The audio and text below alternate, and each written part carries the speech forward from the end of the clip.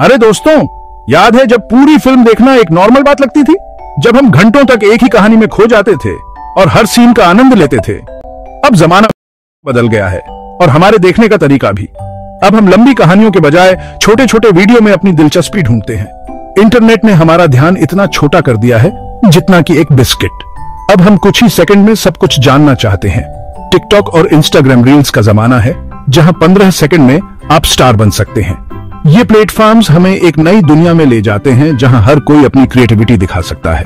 और 60 सेकंड की वीडियो एक महागाथा लगती है। ये छोटे वीडियो हमें हंसाते हैं, रुलाते हैं और कभी कभी सोचने पर मजबूर कर देते हैं।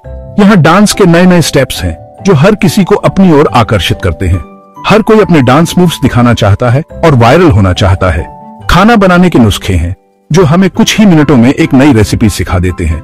ये वीडियो हमें प्रेरित करते हैं कि हम भी कुछ नया ट्राई करें। और ऐसे वीडियो हैं जो आपके दिमाग को घुमा देंगे। कभी कभी ये वीडियो इतने मज़ेदार होते हैं कि हम उन्हें बार बार देखते हैं।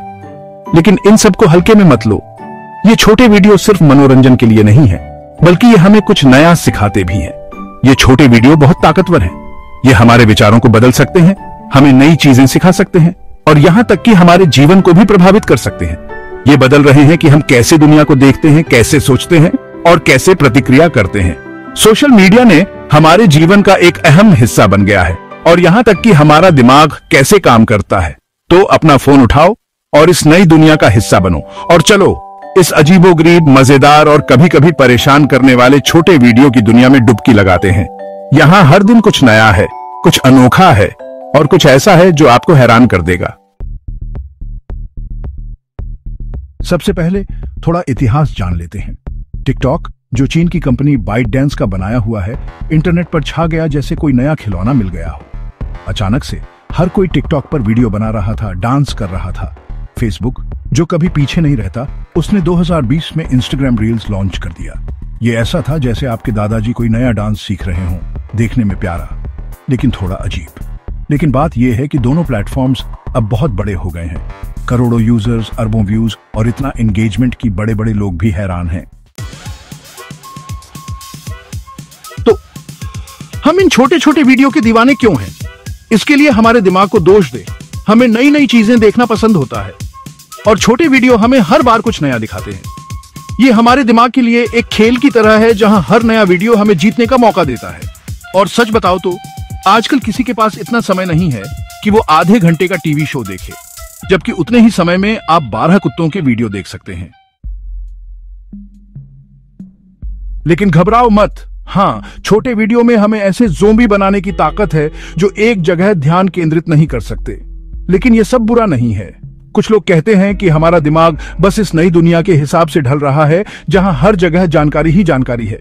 हम जल्दी से ज़रूरी जानकारी निकालने में माहिर हो रहे हैं। इसे डिजिटल दुनिया के लिए एक तरह की मानसिक कसरत समझो। भाग पाँच। अच्छा बुरा और वायरल। छोटे वीडियो की दुनिया के असली किस्से।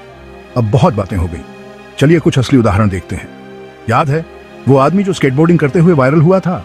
हाँ वो सच में हुआ था और वो रातों रात स्टार बन गया। छोटे वीडियो समाज में बदलाव लाने के लिए भी एक ज़बरदस्त औज़ार रहे हैं।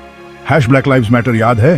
हैश मी टू इन आंदोलनों को टिकटॉक जैसे प्लेटफॉर्म पर ज़ोर मिला, जिससे पता चलता है कि छोटी कहानियाँ कितनी ताकतवर हो सकती हैं। लेकिन किसी भी ताकतवर चीज़ की तरह इसका इस्तेमाल अच्छे या बुरे दोनों के लिए किया जा सकता है। गलत जानकारी आग की तरह फैलती है, अफवाहें फैलती हैं और वायरल होने के चक्कर में लोग कुछ भी कर गुजरते हैं। भाग छह, क्या ये बस एक दौर है? छोटे वीडियो का भविष्य। तो अब आगे क्या? क्या छोटे वीडियो बस एक फ़ैशन है, जो कुछ समय बाद गायब हो जाएँगे? या फिर ये मनोरंजन, बातचीत और शायद हमारी सभ्यता का भविष्य है? आपका अंदाज़ा भी मेरे जितना ही सही है। लेकिन एक बात पक्की है, छोटे वीडियो यहाँ रहने वाले हैं। कम से कम कुछ समय के लिए तो ज़रूर ये हमारी डिजिटल ज़िंदगी का हिस्सा बन गए हैं और इनका असर और भी बढ़ने वाला है। भाग सात। मनोरंजन से आगे, ब्रांड्स कैसे कमाई कर रहे हैं छोटे वीडियो से। अब बात करते हैं पैसे की, क्योंकि जहाँ लोगों का ध्यान होता है, वहाँ पैसा भी होता है। और यकीन मानिए, ब्रांड्स इस मौके को हाथ से जाने नहीं देना चाहते। स्पॉन्सर्ड वीडियो से लेकर इन्फ्लुएंसर मार्केटिंग तक, कंपनियाँ नए नए तरीके ढूंढ रही हैं, टिकटॉक और रील्स पर अपनी जगह बनाने के लिए। और ये काम भी कर रहा है। छोटे वीडियो मार्केटिंग के लिए बहुत अच्छे हैं, खासकर जब बात आती है नौजवानों तक पहुँचने की, जो किसी भी पुरानी तरह के विज्ञापन को पसंद नहीं करते।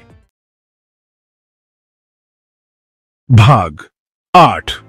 अंधेरा सचलत अफवाहें और प्रसिद्धि की कीमत। लेकिन छोटे वीडियो की दुनिया में सब कुछ अच्छा नहीं है। यहाँ पर हर दिन लाखों लोग अपने वीडियो पोस्ट करते हैं और उनमें से कुछ ही वायरल हो पाते हैं। लेकिन इस सफलता के पीछे छिपे हुए कई अंधेरे पहलू भी हैं। किसी भी सोशल मीडिया प्लेटफॉर्म की तरह, यहाँ भी कुछ बुराइयाँ हैं। लोग अपने जीवन को सबसे अच्छा दिखाने के लिए हर संभव प्रयास करते हैं और इस प्रक्रिया में वे खुद को खो देते हैं। यह एक अंतहीन दौड़ बन जाती है, जहाँ हर कोई सबसे अच्छा दिखना चाहता है। हम बात कर रहे हैं लत की ऑनलाइन बदमाशी की और खुद को सबसे अच्छा दिखाने के दबाव की।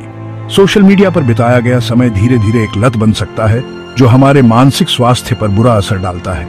इसके अलावा ऑनलाइन बदमाशी और ट्रोलिंग भी एक बड़ी समस्या है, जो लोगों को मानसिक रूप से कमज़ोर बना सकती है।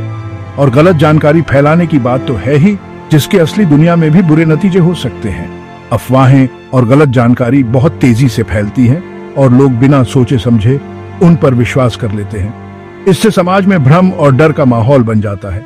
फिर है अचानक मशहूर होने का दबाव। एक पल आप बस एक आम इंसान हैं, और अगले ही पल आप एक वायरल स्टार बन जाते हैं। यह अचानक मिली प्रसिद्धि बहुत भारी पड़ सकती है, खासकर उन लोगों के लिए जो इसके लिए तैयार नहीं होते। एक पल आप बस एक आम इंसान हैं जो अपनी बिल्ली का वीडियो पोस्ट कर रहे हैं, और अगले ही पल आपको बड़ी बड़ी कंपनियों के ऑनफर मिल रहे हैं, और आप पत्रकारों से बच रहे हैं। ये सब बहुत जल्दी होता है, और इसे संभालना बहुत मुश्किल हो सकता है। ये सब संभालना मुश्किल हो सकता है, खासकर उन नौजवानों के लिए जो अभी खुद को समझने की कोशिश कर रहे हैं। वे अपने जीवन के सबसे महत्वपूर्ण समय में होते हैं और इस समय में उन्हें सही मार्गदर्शन और समर्थन की आवश्यकता होती है। सोशल मीडिया की दुनिया में खुद को खोने के बजाय उन्हें अपने असली जीवन पर ध्यान देना चाहिए। भाग नौ। तो क्या हम सब बर्बाद हो गए हैं? तो क्या फैसला है? क्या छोटे वीडियो वरदान है या अभिशाप? क्या ये छोटे वीडियो हमारे जीवन को बेहतर बना रहे हैं या हमें और भी उलझा रहे हैं? क्या ये अच्छे के लिए हैं या फिर हमें बर्बाद कर देंगे? सच तो ये है कि ये दोनों ही हैं। ये छोटे वीडियो हमें मनोरंजन और जानकारी का एक नया तरीका देते हैं, लेकिन साथ ही ये हमें एक अंतहीन लूप में भी डाल सकते हैं। किसी भी ताकतवर चीज़ की तरह ये हम पर निर्भर करता है कि हम इसका इस्तेमाल कैसे करते हैं। हम इसे एक साधन के रूप में देख सकते हैं, जो हमें नई चीज़ें सिखा सकता है, हमें प्रेरित कर सकता है और हमें दुनिया के साथ जोड़ सकता है। हम चुन सकते हैं कि हम सोच समझकर इनका इस्तेमाल करें। इन प्लेटफॉर्म का इस्तेमाल लोगों से जुड़ने के लिए करें, नई चीज़ें सीखने के लिए करें और शायद दुनिया को थोड़ा बेहतर बनाने के लिए करें। हम इन छोटे वीडियो का उपयोग अपने ज्ञान को बढ़ाने के लिए कर सकते हैं, अपने दोस्तों और परिवार के साथ जुड़ने के लिए कर सकते हैं, और यहाँ तक कि सामाजिक मुद्दों के प्रति जागरूकता फैलाने के लिए भी कर सकते हैं। या फिर, हम बस ऐसे ही देखते रहें, जब तक हमारा दिमाग खराब ना हो जाए। हम इन वीडियो में इतना खो सकते हैं कि हमें समय का पता ही नहीं चलता। हम अपने महत्वपूर्ण कार्यों को भूल सकते हैं और हमारी उत्पादकता पर इसका बुरा असर पडी अच सकता है।